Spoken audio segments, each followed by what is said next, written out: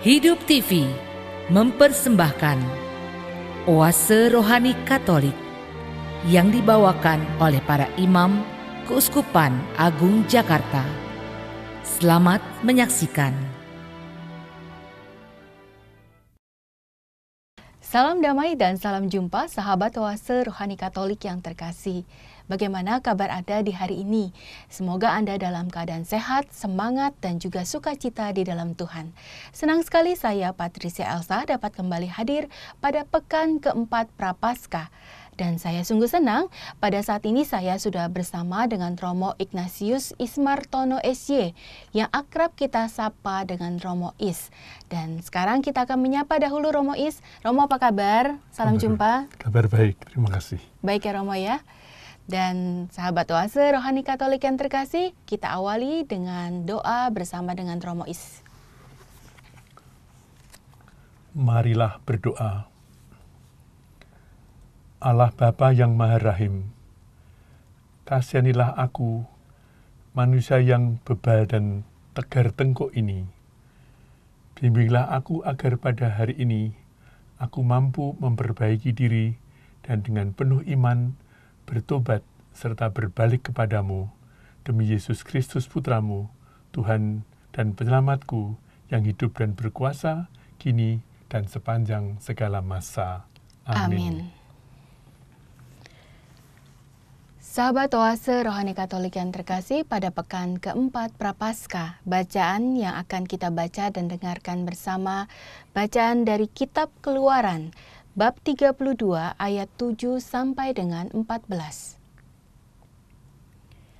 Di Gunung Sinai, Allah berfirman kepada Musa, "Pergilah, turunlah, sebab bangsamu yang kau pimpin keluar dari tanah Mesir telah rusak perilakunya." Begitu cepat mereka menyimpang dari jalan yang kuperintahkan kepada mereka. Mereka telah membuat anak lembu tuangan dan kepadanya mereka sujud menyembah serta mempersembahkan kurban sambil berkata, Hai Israel, inilah Allahmu yang telah menuntun engkau keluar dari tanah Mesir. Lagi firman Tuhan kepada Musa, Telah kulihat bangsa ini, dan sesungguhnya mereka adalah suatu bangsa yang tegar tengkuk oleh sebab itu, biarkanlah murkaku bangkit terhadap mereka, dan aku akan membinasakan mereka. Tetapi engkau akan kubuat menjadi bangsa yang besar. Lalu Musa mencoba melunakkan hati Tuhan Allahnya dengan berkata, Mengapakah Tuhan murkaku bangkit terhadap umatmu yang telah kau bawa keluar dari tanah Mesir dengan kekuatan yang besar dan dengan tangan yang kuat. Mengapakah orang Mesir akan berkata, dia membawa mereka keluar dengan maksud menimpakan malapetaka kepada mereka dan membunuh mereka di gunung dan membinasakannya dari muka bumi. Berbaliklah dari murkamu yang bernyala-nyala itu, dan menyesalah akan malapetaka yang hendak kau datangkan kepada umatmu. Ingatlah kepada Abraham, Ishak dan Israel, hamba-hambamu itu, sebab kepada mereka engkau telah bersumpah demi dirimu sendiri, dengan berfirman kepada mereka, Aku akan membuat keturunanmu sebanyak bintang di langit, dan seluruh negeri yang telah kau janjikan, yang telah kujanjikan ini, akan kuberikan kepada keturunanmu, supaya dimilikinya untuk selama-lamanya. Dan menyesallah Tuhan atas malapetaka yang dirancangkannya atas umatnya. Demikianlah sabda Tuhan. Syukur kepada Allah. Marilah kita tanggapi dengan Mazmur tanggapan. Ingatlah akan daku ya Tuhan, demi kemurahanmu terhadap umatku. Ingatlah akan daku ya Tuhan, demi kemurahanmu terhadap umatku. Mereka membuat anak lembu di Horeb dan sujud menyembah kepada patung tuangan. Mereka menukar yang mulia dengan patung sapi jantan yang makan rumput. Ingatlah akan daku ya Tuhan, demi kemurahanmu terhadap umatku. Mereka melupakan Allah yang telah menyelamatkan mereka, yang telah melakukan hal-hal yang besar di tanah Mesir, yang melakukan perbuatan-perbuatan ajaib di tanah Ham, dan perbuatan-perbuatan dahsyat di tepi laut Teberau. Ingatlah akan daku ya Tuhan, demi kemurahan-Mu terhadap umatku. Maka ia mengatakan hendak memusnahkan mereka, kalau Musa orang pilihannya tidak mengetengahi di hadapannya untuk menyurutkan amarahnya, sehingga ia tidak memusnahkan mereka. Ingatlah akan daku ya Tuhan, demi kemurahan-Mu terhadap umatku. Sahabat oase rohani katolik yang terkasih, marilah kita siapkan hati. Kita akan mendengarkan Injil Yesus Kristus menurut Yohanes, bab 5 ayat 31 sampai dengan 47. Sekali peristiwa, Yesus berkata kepada orang Yahudi, "Kalau aku bersaksi tentang diriku sendiri, maka kesaksianku itu tidak benar. Ada yang lain yang bersaksi tentang aku." dan aku tahu bahwa kesaksian yang diberikannya tentang aku adalah benar. Kamu telah mengirim utusan kepada Yohanes, dan ia telah bersaksi tentang kebenaran. Tetapi aku tidak memerlukan kesaksian dari manusia, namun aku mengatakan hal ini supaya kamu diselamatkan. Yohanes adalah pelita yang menyala dan bercahaya dan kamu hanya mau menikmati seketika saja cahaya itu. Tetapi aku mempunyai suatu kesaksian yang lebih penting daripada kesaksian Yohanes, yaitu segala pekerjaan yang diserahkan Bapa kepadaku supaya aku melaksanakannya. Pekerjaan itu jualah yang sekarang kukerjakan dan itulah yang memberi kesaksian tentang aku bahwa Bapa yang mengutus aku. Dialah yang bersaksi tentang aku. Kamu tidak pernah mendengar suaranya, rupanya pun tidak pernah kamu lihat. Dan firmanya tidak menetap di dalam dirimu, sebab kamu tidak percaya kepada dia yang diutusnya. Kamu menyelidiki kitab-kitab suci, sebab kamu menyangka bahwa olehnya kamu mempunyai hidup kekal. Tetapi walaupun kitab-kitab suci itu memberi kesaksian tentang aku, namun kamu tidak mau datang kepadaku untuk memperoleh hidup itu. Aku tidak memerlukan hormat dari manusia, tetapi tentang kamu memang aku tahu bahwa di dalam hatimu kamu tidak mempunyai kasih akan Allah. Aku datang dalam nama Bapakku, dan kamu tidak menerima aku. Jikalau orang lain datang atas namanya sendiri, kamu akan menerima dia. Bagaimanakah kamu dapat percaya karena kamu menerima hormat seorang dari orang yang lain, tapi tidak mencari hormat yang datang dari Allah yang Esa? Jangan kamu menyangka bahwa aku akan mendakwa kamu di hadapan Bapa yang mendakwa kamu adalah Musa, yaitu Musa yang kepadanya kamu menaruh pengharapan. Sebab jikalau kamu percaya kepada Musa, tentu kamu akan percaya juga kepadaku, sebab Musa telah menulis tentang aku. Tetapi jikalau kamu tidak percaya akan apa yang ditulis oleh Musa, bagaimanakah kamu akan percaya akan apa yang aku katakan?' Demikianlah Injil Tuhan. Terpujilah Kristus. Terima kasih Romo Is untuk bacaan Injilnya. Sahabat oase rohani Katolik yang terkasih, kita sudah mendengarkan dua bacaan pada pekan keempat Prapaskah. Dan sekarang Romo Ismartono SJ akan memberikan inspirasi pewartaan dan kabar baik Injil kepada kita semua. Romo silakan Romo. Saudari-saudara yang seiman dalam Tuhan kita Yesus Kristus yang terkasih. Dari kedua bacaan yang kita dengarkan tadi, kita mendengar nama, nama besar, yaitu Musa. Musa dalam perenungan kita adalah seorang yang memimpin bangsanya. Memimpin bangsanya untuk apa?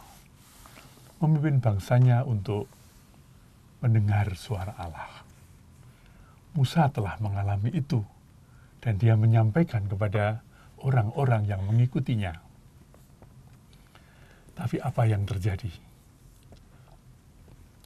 Mengikuti Musa dalam perjalanan di padang gurun bukanlah perjalanan yang ringan. Dan dalam kisah yang saya, kita dengar tadi, dalam kitab keluaran, kita menemukan bahwa orang-orang yang dipimpin Musa, yang membuat menganggap dan mempercayai Musa sebagai orang yang diutus oleh Allah itu mulai tidak percaya kepada Allah. Maka Musa menghadap Allah. Dan bagaimana perasaannya? Tentu saja sangat sedih. Karena satu-satunya alasan mengapa dia berjalan dalam ziarah padang gurun yang panjang, panas, terik, dan lapar haus itu karena Allah yang satu ini. Dan mereka mau mengganti Allah itu. Karena Allah ini dirasa tidak mengikuti keinginan mereka.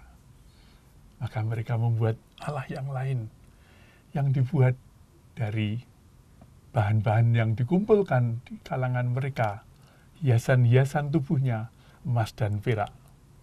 Dan terjadilah seekor anak lembu, dan orang-orang menyembahnya, orang-orang menarinya, menari ria di hadapannya. Ya ketika melihat itu Musa yang sedih itu datang lagi kepada Allah. Yahweh dia sebut. Apa? akan dimusnahkan saja. Tidak ada gunanya orang-orang itu.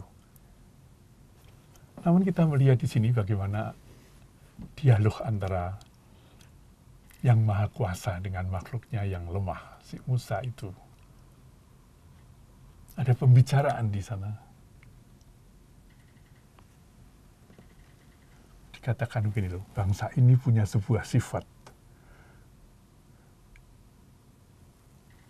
Inilah bangsa yang sesungguhnya orang-orang yang tegar tengkuk, bebal, keras kepala. Nah, bagaimana ya?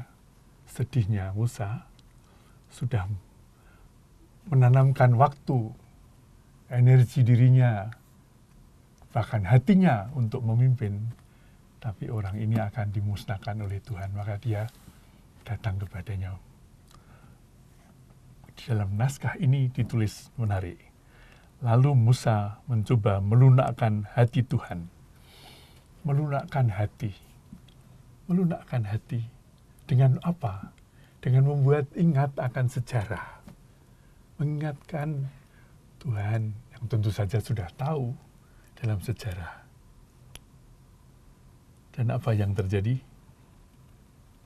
Hatinya, hati Tuhan menjadi lunak.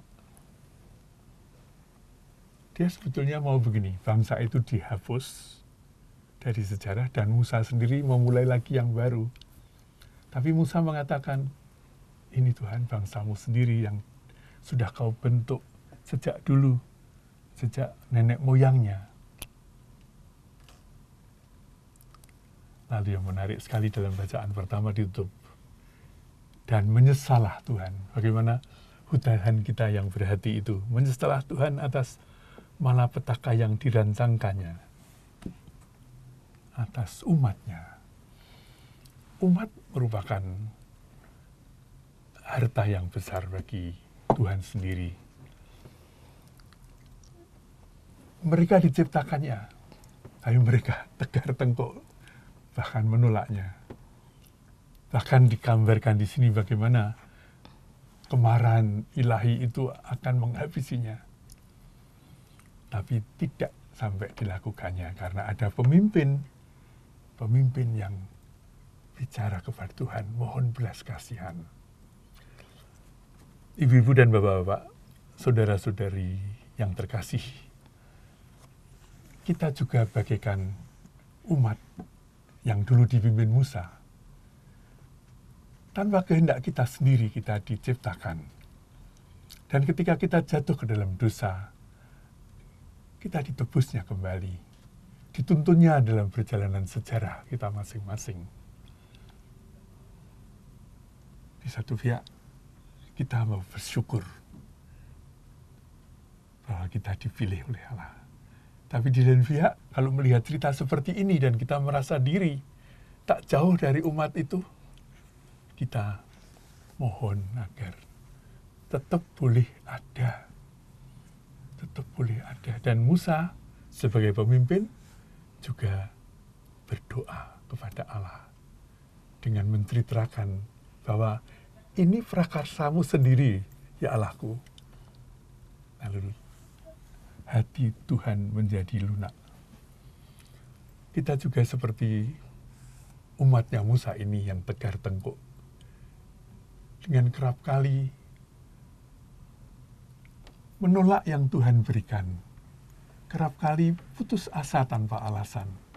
Dan ketika mengalami kesulitan, yang disalahkan siapa? Tuhan yang menciptakan kita. Mengapa mesti aku kau ciptakan Tuhan? Maka marilah kita dalam renungan pertama ini, ketika kita membaca kitab keluaran, keluar dari Mesir menuju tanah terjanji, Musa yang memimpin. Pertama-tama bersyukur bahwa kita seperti umat itu juga tidak dimusnahkan. Terus dituntun. Kedua, kita bersyukur kata kita punya pemimpin-pemimpin Syukur kita juga dalam doa semoga pemimpin-pemimpin kita Bapak memahami kelemahan kita, tapi tidak hanya marah-marah kepada kita, tetapi membawa masalah ini kepada Tuhan kita dalam doa-doa mereka. Dalam doa-doa yang memohon. Dan dengan bahasa yang bisa meluluhkan hati Tuhan. Hati Tuhan yang kita ingat kembali di setiap hari Jumat pertama lebih-lebih. Di mana hati kudus Yesus itu adalah hati yang bisa lunak juga. Namun kita jangan sampai mempermainkan Tuhan. Ah, toh Tuhan akan mengampuni, maka aku berdosa saja. Itu bukan cara yang dimaksudkan.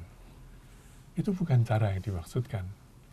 Tapi kita mau berdoa agar Tuhan karena kau murah hati, kau menciptakan kami, kau memberikan kasihmu kepada kami, semoga kami pun dapat memiliki hati seperti hatimu, hati yang melihat orang lain, kesengsaraan mereka, keprihatinan mereka, derita mereka.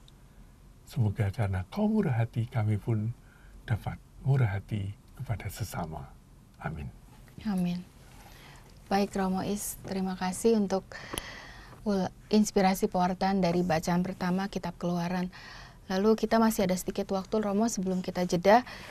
Tadi saya tertarik dengan ungkapan yang Romo katakan betapa Allah itu juga mempunyai hati. Dan kalau kita baca dari kitab keluaran ini ada bahasa-bahasa seperti uh, Allah berfirman, terus Allah menyesal, dan juga Allah tadi Romo katakan juga Allah tergerak hatinya untuk mau memberikan kesempatan kepada bangsa Israel yang tadi sudah uh, dianggap sudah bangsa yang tegar tengkuk.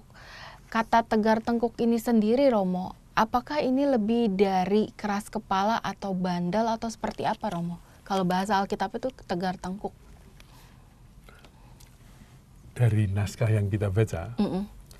istilah tegar tengkuk itu mm -mm dipergunakan oleh penulis untuk menjadi kata sifat bagi ya. orang-orang yeah. yang dipimpin Musa yeah. di bawah pimpinan Allah sendiri malah menolak Allahnya. Ya, nanti kan kita melihat beberapa peristiwa yeah. ketika sudah sampai di tengah padang gurun mereka mm lapar. Ya, mereka lapar mengatakan, mengapa kamu kau membawa kami ke tempat ini? kan lebih enak ada di Mesir sana dan bisa makan duduk enak. makan mm dalam di dekat tung daging-daging yang Daging-daging. berminyak gitu ya. Mm-mm. Aduh gimana saya saya bayangkan Musa itu. Tapi Musa lalu datang kepada Tuhan. Ini ini ini ciri pemimpin ya. Mm-mm. Dia tahu bahwa dia juga manusia biasa. Tapi dia juga tahu kepada siapa kalau ada hal-hal yang menghalangi kehidupannya Mm-mm. datang dan dia Iya. kepada Yahweh. Dan di sana Tuhan lalu memberi apa? Mana Memberi mana? dan burung ya Romo ya, ya, mana burung Burung, merpati bisa uh, di ya, dimakan. gitu. dimakan. Tapi apa yang terjadi lagi? Ada yang serakah Iya. dan lalu menyimpan mana itu. Iya. Ya. ya, ini kan juga kerap kali kita sudah punya mau punya lagi, Mm-mm. meskipun Sudah sebenarnya cukup, tapi Cukup, masih ya. kepingin lagi. kata orang memang. Lalu itu jadi apa? Penuh ulat. Iya. Lalu jalan lagi, kan? Iya. Jalan lagi apa? Tidak ada air. Mm-mm. Datang lagi kepada Tuhan. Dan pemimpin itu juga tidak langsung percaya gitu kan. Musa berbuat apa? Iya. Dia mem memukulkan Tongkatnya. tongkatnya di atas wadas. Mm-mm. Dipukulkan satu kali, tapi dia kurang percaya baru dua kali ya. Mm-mm. Nanti memang demi umat yang haus ini Tuhan tetap memberi air. Iya. Tapi Tuhan tidak diam saja terhadap ketidakpercayaannya itu. Iya. Kamu tahu nanti apa akibatnya? Apa Romo? Dia sendiri tidak masuk tanah terjanji. Iya. Ya, itu hanya boleh Yosua yang masuk ya, Yosua yang masuk. Ya. Iya. Maka ya inilah ini bagi saya pribadi cerita dari keluaran itu persiapan untuk memahami Musa baru yang bagi saya adalah Yesus. Musa baru bagi kita itu Yesus sekarang Yang ini ya Romo ya. Yesus yang kemudian dikembangkan terus dilanjutkan dalam sejarah dalam gerejanya. Tahu di satu pihak bahwa dia lemah, tapi tahu juga kepada siapa dia akan pergi. Dan berbicara dan bermohon dan bercakap-cakap dan Ya. ya, mohon bantuan pertolongan seperti itu ya Ya. Romo. Sama seperti kita juga umat beriman yang sedang berziarah Romo. Kita mestinya tahu kepada siapa kita mencari pertolongan dan juga menaruh harapan ya Romo ya. Begitu ya. Yang Saya- pastinya kepada Tuhan Yesus Bagi kita ini Musa baru, Musa baru. Musa baru. Ya baik Romo, terima kasih banyak. Sangat menarik apa yang sudah disampaikan oleh Romo Ismartono. Tapi masih banyak lagi yang akan disampaikan. Jadi harap di tempat Anda jangan ke mana-mana, tetaplah di acara Oase Rohani Katolik. Hidup TV mempersembahkan Oase Rohani Katolik yang dibawakan oleh para imam Keuskupan Agung Jakarta. Selamat menyaksikan. Terima kasih Anda masih bersama dengan kami, sahabat Oase Rohani Katolik yang terkasih, masih bersama dengan Romo Ismartono SJ dan saya Patricia Elsa. Bagi Anda yang mungkin ingin bertanya ataupun ingin sharing iman, dapat mengirimkan SMS ataupun WhatsApp ke 0882 9019 0900 0882 9019 0900 atau dapat eh, email kepada kami orkkaj@yahoo.com. Romo Ismartono kita akan lanjutkan kembali. Tadi menarik sekali apa yang Romo sampaikan kisah bagaimana bangsa Israel melewati eh, berliku-liku sebenarnya Romo ya keluar dari Mesir sampai terus eh, akan masuk ke tanah Kanaan tapi ini perjuangan Musa sendiri sebagai pemimpin bangsa Israel pada saat itu dan bagaimana Allah sudah eh, marah sebenarnya yang sampai berkata ini bangsa ini mestinya dimusnahin aja dan karena bangsa ini tegar teguk tapi Musa mencoba berdialog dan melunakkan hati dari Tuhan Yahweh itu sendiri Romo. Apalagi yang bisa Romo sampaikan? Baik ya, sekarang kita mau merenungkan bacaan Injil Ya, yang menghubungkan dengan bacaan pertama adalah kata Musa itu. ya, Ini sekarang kita baca dalam situasi prapaskah. Mm, Bahkan tidak lama lagi kita akan merayakan Paskah. Musa di sana kita baca dalam keadaan atau konteks gereja kita di saat ini. Bagi orang Kristiani sejak beberapa waktu yang lalu, yaitu ketika masa Paskah dimulai, kita diberi bacaan lain, surat Gembala Prapaskah. Kita berhikmah, bangsa bermartabat. Ya. Saya ingin membaca kisah Mus, kisah Yesus yang membicarakan Musa di sini Hmm. dari cara berpikir surat Gembala. Ya. Ya. Hmm. Surat Gembala ini mengajak kita untuk merenung kehidupan melalui tema iman, harapan, dan kasih. Maka selalu saya membaca sekarang, kita mau melihat diri kita sebagai seorang yang juga mengalami seperti bangsa Yahudi ketika Yesus menemui mereka, mereka mempersoalkan Yesus itu siapa. Ya. Ya. Dan Yesus dalam tulisan ini juga nanti menunjuk pada Musa. Ya, kamu itu orangnya Musa, nanti kamu yang akan berhadapan dengan Musa sendiri. Maka kita sebagai orang yang hidup zaman ini di Keusupan Agung Jakarta dan Gereja Indonesia mau melihat pertama-tama kita mau bersyukur juga bahwa kita tidak berada dalam situasi sedang bergumul apakah kita akan percaya kepada Yesus atau tidak. Ya. Kita sudah percaya melalui baptis kita, melalui sakramen-sakramen yang kita terima, Ya. kita sudah percaya pada Yesus. Amin. Namun, persoalan tidak selalu mudah. Karena meskipun percaya pada Yesus, apa yang ada di diri orang Yahudi, tegar tengkok itu ada pada diri kita. Ya. Mari kita lihat dalam hidup sehari-hari. Ya.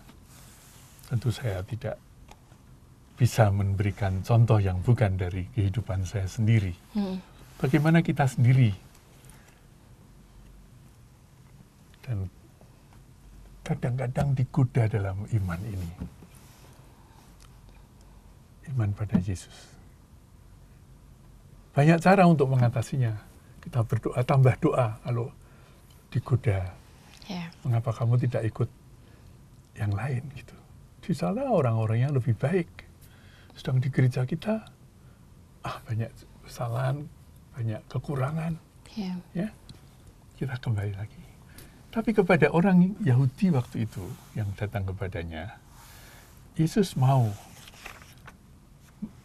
menarik perhatian orang itu tidak pada rumusan-rumusan tentang Yesus, tapi pada pekerjaannya. Ya. Itu lihat.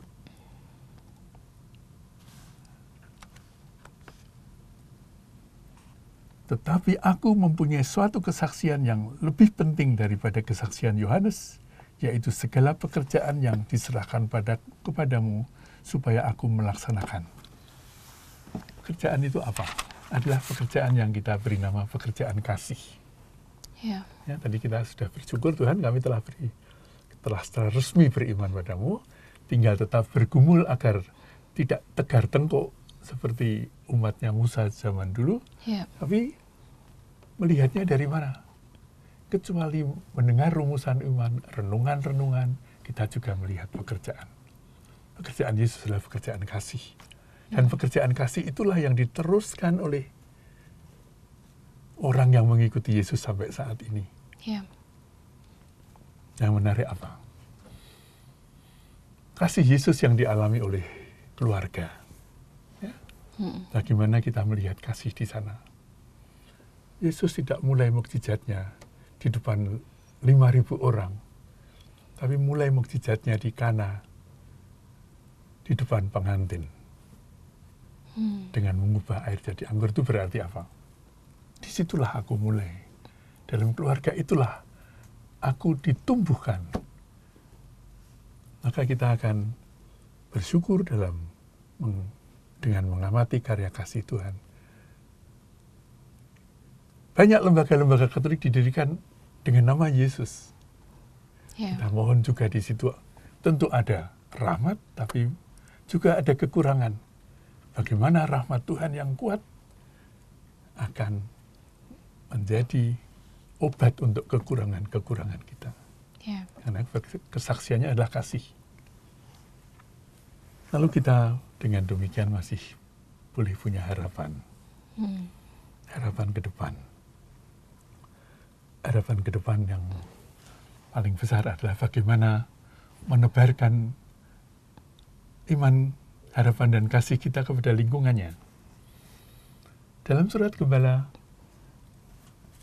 Prapaskah tahun 2019 ada dua hal yang disampaikan sebagai sesuatu yang perlu disyukuri, yaitu apa? Kunjungan Paus Fransiskus ke Uni Emirat Arab yang berlangsung pada tanggal 3 sampai 5 Februari tahun ini. Ya. Ini kita syukuri karena apa? Di situ pemimpin-pemimpin agama sudah menyatakan sesuatu yang sangat penting, sebuah tonggak sejarah untuk ke depan. Agama itu adalah pertama-tama merupakan sarana yang penting untuk mengembangkan hubungan pencipta dan ciptaannya. Dan yang diberikan oleh penciptanya dan juga mengingat yang diingatkan oleh Musa Ya. apa bahwa Tuhan kau telah memberi hidup kepada Abraham, Ishak, Hmm. Yakub, orang-orangmu. Maka pertemuan antara Paus Fransiskus dengan imam besar Al-Azhar Ahmad Al-Tarib itu adalah sebuah hal yang istimewa. Perlu kita syukuri, tapi lebih dari syukuri kita usahakan.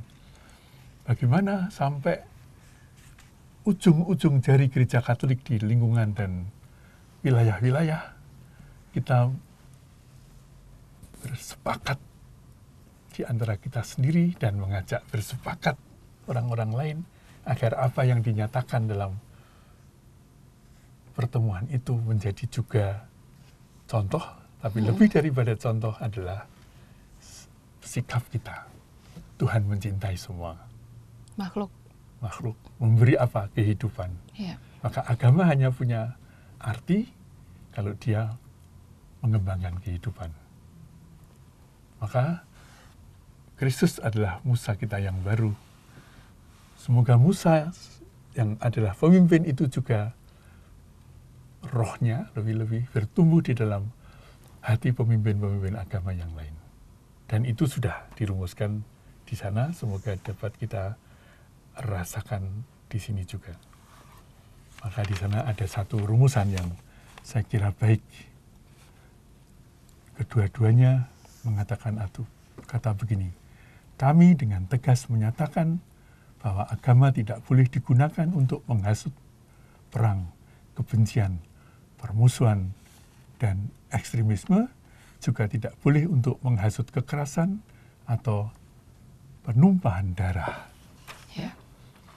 Memang agama itu sesuatu yang tinggi, Ya. tetapi juga dapat dijadikan alasan untuk menjalankan tindakan-tindakan jahat Ya. yang terutama adalah menghabisi kehidupan ini. Terjadi sejak awal ketika Kain Dan Habel. dan Abel dan berjalan terus. Selalu ada. Tetapi kita ingat Tuhan mengampuni. Tetapi ampun Tuhan jangan ditangkapi secara murahan. Ya Tuhan, Tuhan mengampuni maka saya lalu semaunya saja berdosa. Melakukan lagi, berbuat lagi. Lagi, atau dan mengatakan ah Tuhan Tuhan mengampuni lagi gitu ya Iya, Kak. iya. Kita berbuat sebaik mungkin di dalam komunitas kita bersama dalam gereja. Mm-mm. dan kalau kita gagal di situ kita mohon ampun. Bukan untuk mundur untuk membiarkan apa yang tidak baik itu tapi untuk mencari kekuatan baru berjalan dalam ziarah kita seperti Musa. Maka kita melihat di dalam bacaan kita hari ini Tuhan mengatakan Jangan kamu menyangka bahwa aku akan mendakwa kamu di hadapan Bapa yang mendakwa kamu adalah Musa. Hmm. Musa akan tetap pemimpin. Maka kita juga baik kalau berdoa bagi pemimpin-pemimpin kita. Yeah. Lebih-lebih akhir-akhir ini nampak sekali gereja sangat rawan. Kemarin di rumah ada pertemuan yang membicarakan tentang kelemahan-kelemahan kita, yeah. khususnya dalam memperlakukan anak-anak yeah. dan perempuan lebih-lebih. Yeah. Itu mungkin ungkapan tegar tengkuk zaman ini. yeah, Tapi Romo. tetap akan ada pimpinan yang Tuhan percayai. Hmm. Saya katakan ini Tuhan mempercayai pimpinan kita, yeah. ya, agar kita belum selesai. Ya. Agar Semoga semuanya ini bisa dibimbing. dibimbing. Iya. Dan juga mereka kalau memang harus mengalami dukungan ya, seperti Musa. Iya. Eh, terima ya, memang salah ya. Iya. Aja dari jauh. Generasi muda lebih mumpuni orang bilang untuk masuk ke tanah terjanji dengan segala. Dan kalau kemudian setelah waktu masuk itu pun juga tidak mulus-mulus loh ya. Coba yeah kirim dulu mata-mata untuk masuk kota Jericho. Mata-mata itu sebelum gelap harus pergi, tapi dia kesenangan di situ atau mungkin terlalu banyak mencermati, tidak bisa keluar kota. Maka pergilah ke sebuah rumah. Mm. Rumah yang tidak banyak curiga, yaitu pelacuran. Yeah.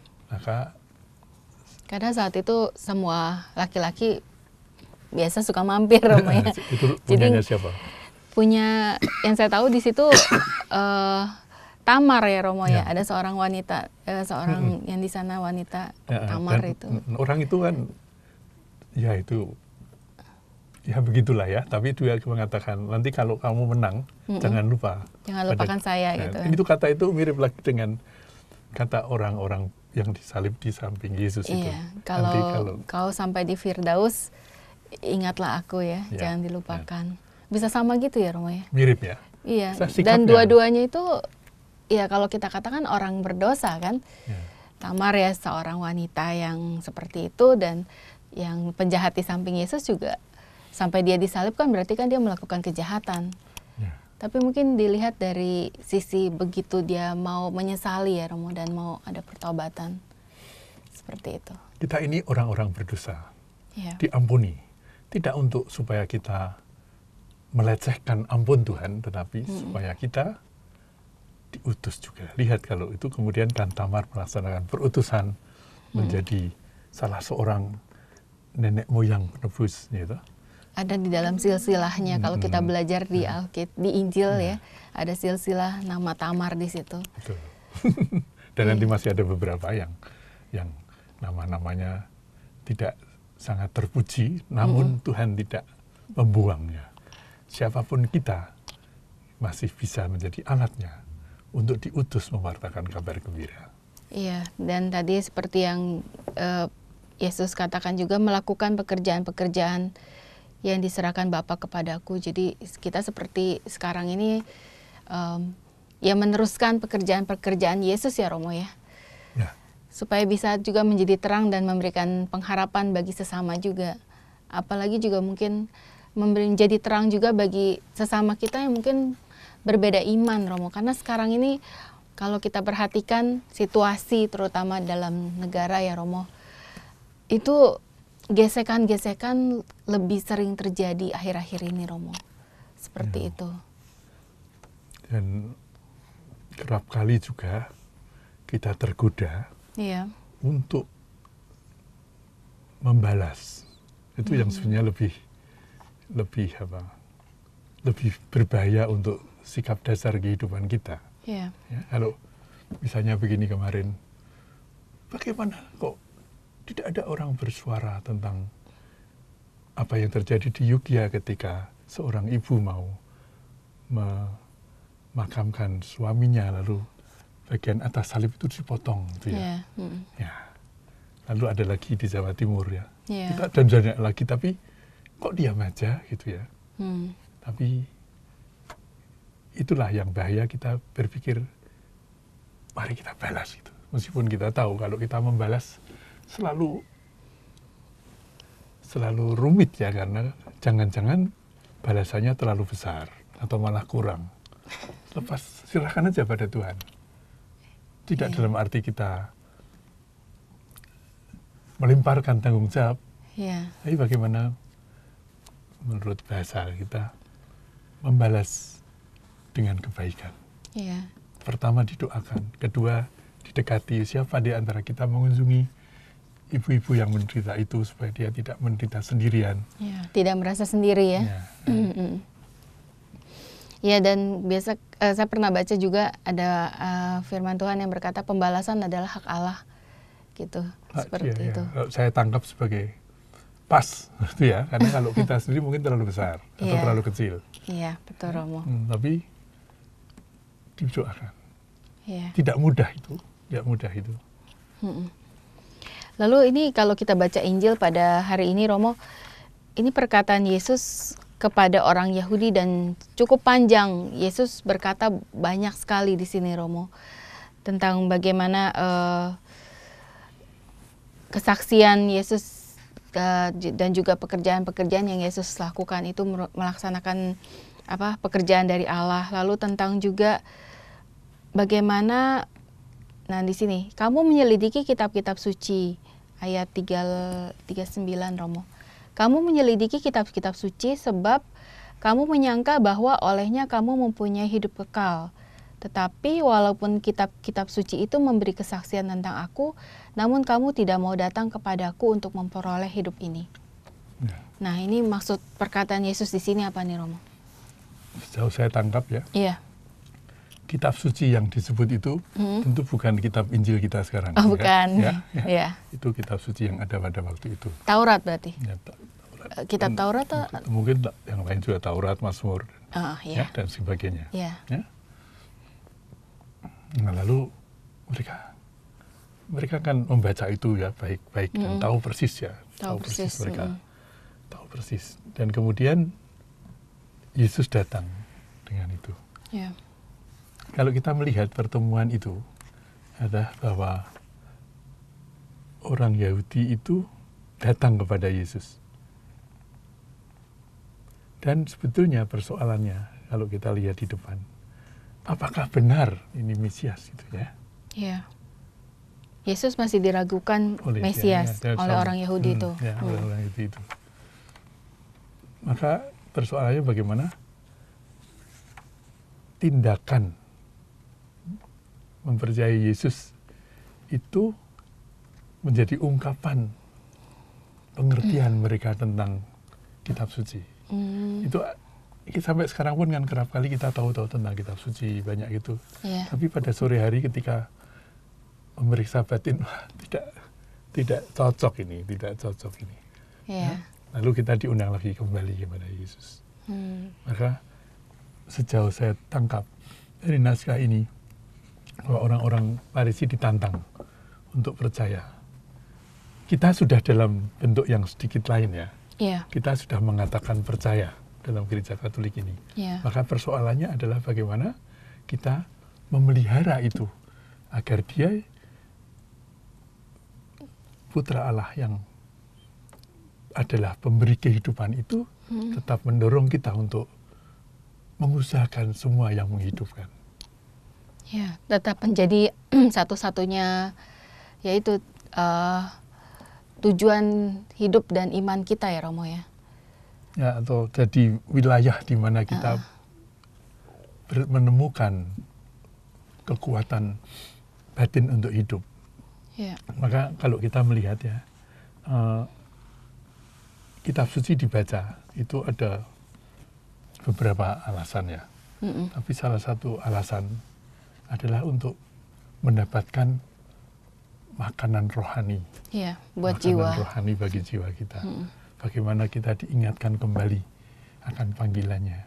Bagaimana kita ini ditegaskan kembali bahwa kita ini pengikut Yesus. Ya.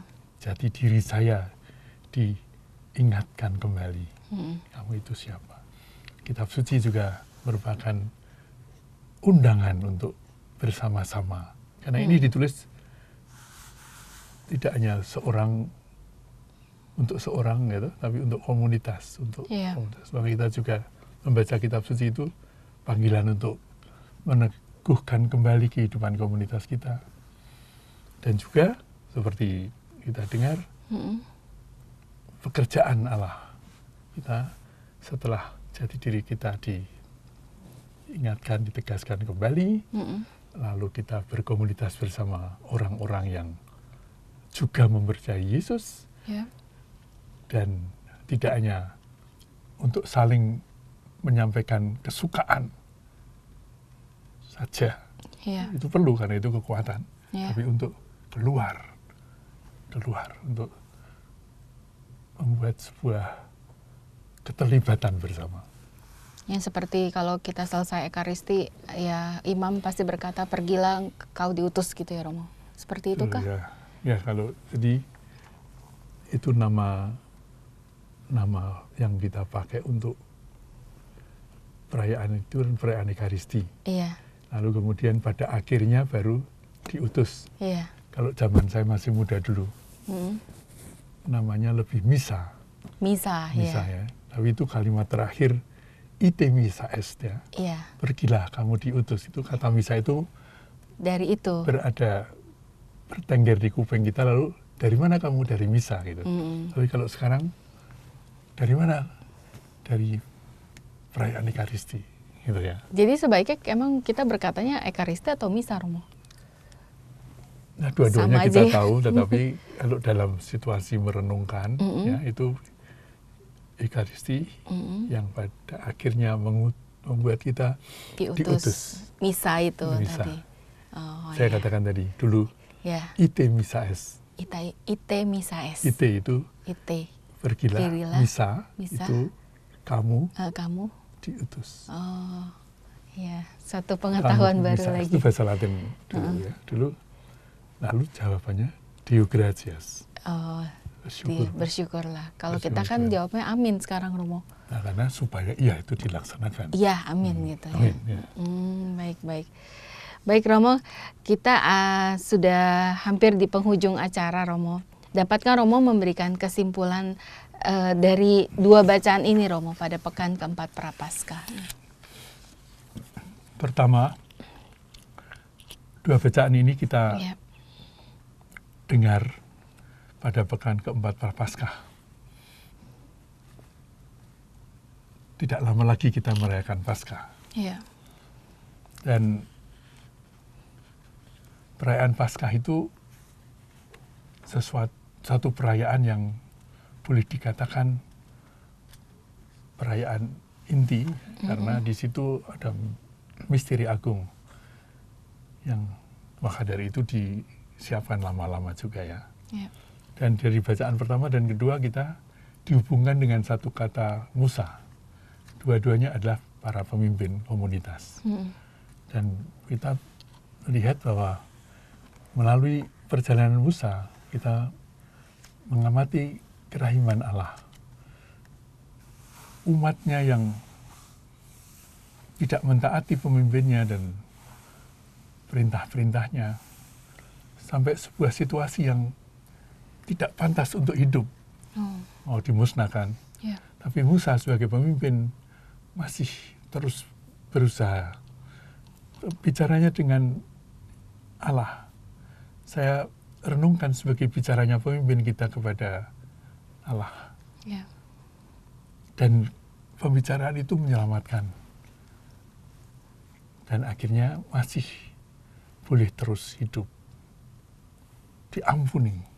Ya, Dan ketika diampuni juga tidak langsung baik-baik terus sampai tanah terjanji.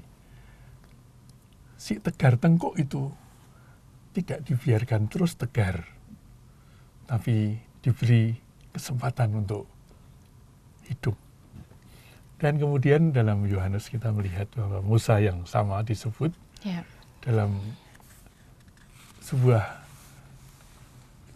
keadaan yang lain, yaitu orang yang mengaku percaya kepada Yesus, kepada Musa, itu sekarang berhadapan dengan Yesus.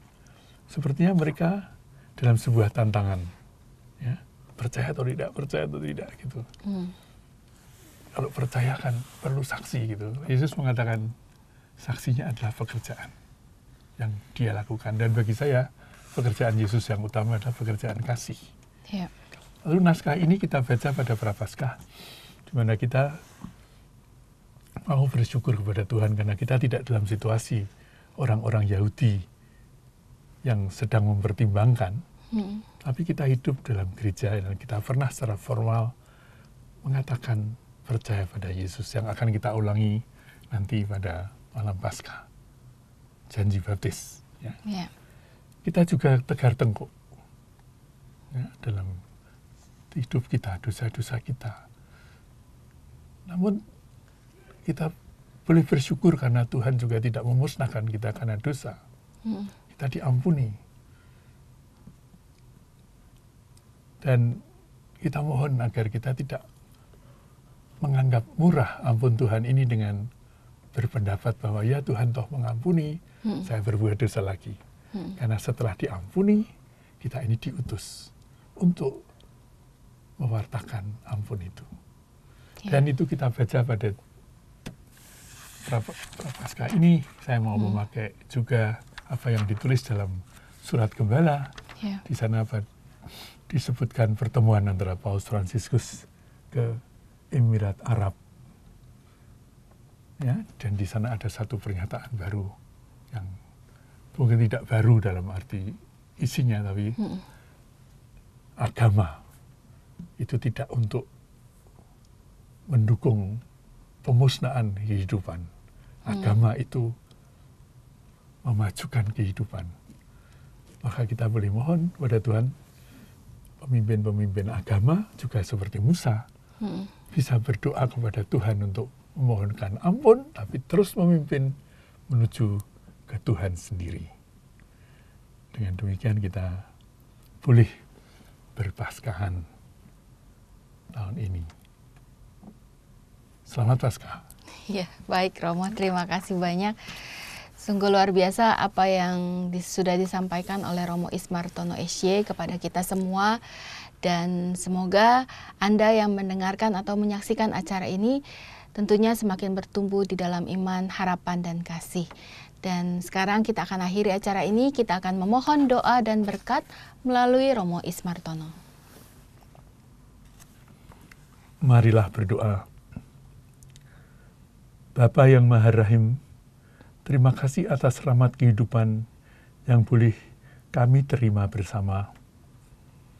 Seperti kau telah mengampuni umat hambamu Musa, tidak memusnahkan mereka, ampunilah kesalahan-kesalahan kami. Karena kita tidak cukup mengimani putramu dan tidak selalu tulus dalam melaksanakan tugas berutusannya yaitu membawa kasih. Sempurnakanlah ya Bapak agar pekerjaan kami dapat menjadi tanda cinta kasih padamu. Doakanlah juga para pemimpin kami agar ketika melihat dosa-dosa kami, mereka tidak putus asa tetapi seperti Musa datang padamu dan pada zaman ini kami mohon ya Tuhan agar pemimpin-pemimpin agama seperti pernah bersatu untuk menyatakan bahwa agama ini tidak boleh untuk menghabisi kehidupan melainkan memuliakan kehidupan. Semoga pimpinanmu kau percayakan kepada pemimpin-pemimpin kami dan semoga berkatmu selalu melimpah pada kami. Tuhan sertamu. Dan sertamu juga. Semoga kita semua diberkati oleh Allah yang Maha Kuasa, Bapa dan Putra dan Roh Kudus. Amin. Amin. Terima kasih Romo Ismartono dan sahabat oase rohani katolik yang terkasih kita pamit undur diri. Saya Patricia Elsa bersama dengan Romo Ignatius Ismartono SY dan tetap semangat, mari amalkan Pancasila. Kita berhikmat, bangsa bermartabat. Demikianlah oase rohani Katolik yang dibawakan oleh para imam Keuskupan Agung Jakarta. Tuhan memberkati.